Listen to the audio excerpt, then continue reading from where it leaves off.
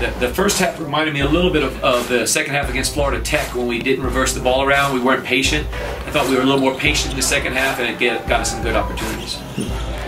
We really talked about our defensive plan that we were supposed to execute the first half. I thought we did a much better job of executing the second half. And, and you know, they, they missed some shots that they had made in the first half too. So we're not putting together the, the whole game. You know, it's that that was a pretty good second half, and we might have had three or four minutes in the first half. So if we can if we can up that to you know 30, 40 minutes, uh, 30, 35 minutes, that, that's going to help us a lot. Overall, I think our defensive and our, our play on the boards, both ends, was the difference.